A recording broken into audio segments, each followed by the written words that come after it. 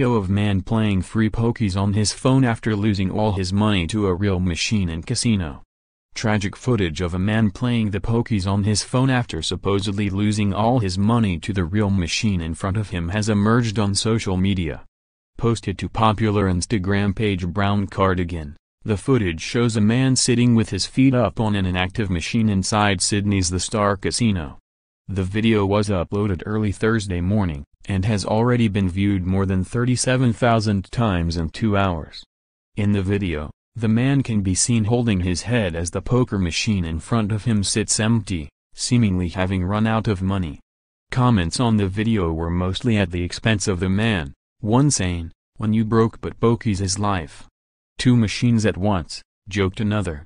A jackpot of more than $12,000 is sitting on the machine in front of him, though the mobile app he's playing won't pay out a cent.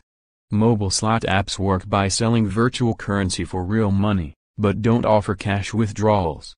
It comes after a report from H2 Gambling Capital that Australians are the most prolific gamblers in the world. The NSW government predicts the state's pokie profits will hit $7 billion a year by 2021. Victorians were revealed to lose almost $2.7 billion to poker machines in 2017 alone,